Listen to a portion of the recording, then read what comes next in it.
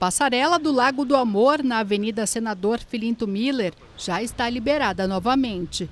Parte da calçada havia cedido no dia 29 de outubro, 31 dias após a conclusão da obra de revitalização do trecho. Segundo o secretário de Infraestrutura, a empresa responsável fez o reparo sem custo extra para a prefeitura. O problema ali foi que a tubulação que atravessa por baixo da pista e que cai, encaixa numa caixa vertedora, ela desconectou e houve um vazamento de água ali com pressão da água e aquilo houve um afundamento do aterro e consequentemente da calçada. A empresa voltou ao local por sua conta, sem nenhum tipo de custo ao poder público, refez o serviço. O contrato foi firmado em caráter emergencial depois do temporal do dia 4 de janeiro, em que a força da enxurrada levou a passarela.